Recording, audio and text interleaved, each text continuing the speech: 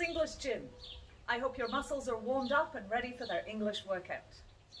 Here's today's limerick. There was an old man with a beard who said, It is just as I feared. Two owls and a hen, four larks and a wren have all built their nests in my beard.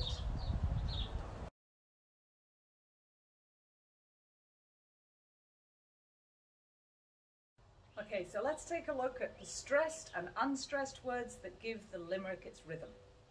Stressed words circled in red. Was, man, beard. Said, just feared. Owls, hen, larks, wren, all nests, beard. These are the stressed words that give the rhythm. All the other words are unstressed and said quickly and pushed together. So have a listen. There was an old man with a beard who said, It is just as I feared. Two owls and a hen, four larks and a wren have all built their nests in my beard. Okay, so let's look at the unstressed words. If there's only one word, no problem, we say it quickly, there. If there's two words, we push them together and say them with one sound.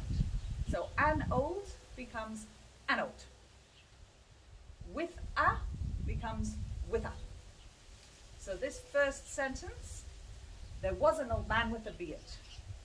So let's take a look at these words that we push together and say quickly, the unstressed words. So try and copy the sounds that I make when I say these words pushed together.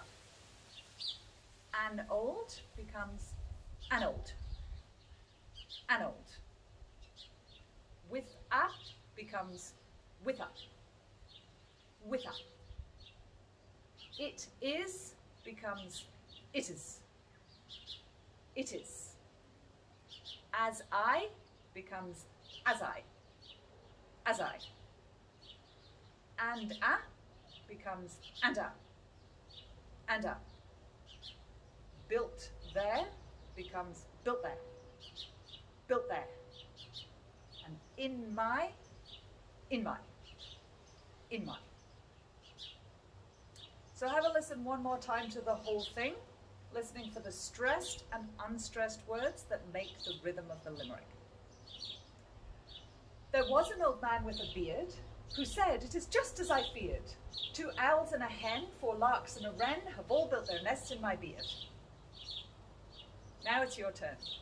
Go back, listen to the parts of the video again, try to copy exactly how I say these words pushed together, the stressed and the unstressed words, and practice until you can say this limerick the same way that I can, with the right stress and pronunciation. That's your workout for this week. I hope you enjoyed this week's workout. Keep practicing during the week, work those English muscles, and come back next week for a new limerick. Don't forget to subscribe to my channel for lots more English videos and follow me on Facebook and Instagram for lots of motivation and inspiration. Thanks for watching.